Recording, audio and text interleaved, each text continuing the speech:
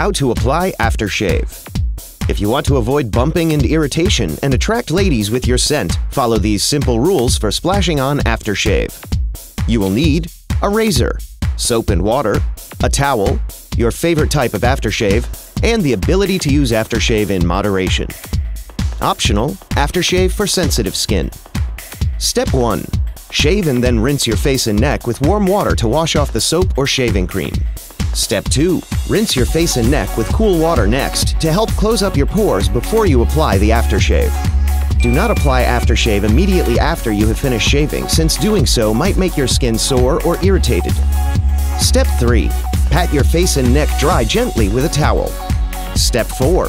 Choose an aftershave type, such as a soothing balm or an invigorating splash of cologne based on desired results. If you like a sharp, tingling sensation, choose an alcohol-based aftershave. If you like a cooling sensation, try a lotion or cream-based aftershave. Avoid products with perfumes and other unnecessary ingredients if you have sensitive skin. Select aftershaves specially made for sensitive skin. Step 5.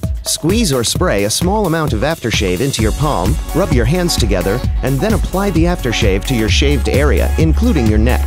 Use only a small dime-sized amount to avoid overdoing the cologne scent, and get on your way to start the day.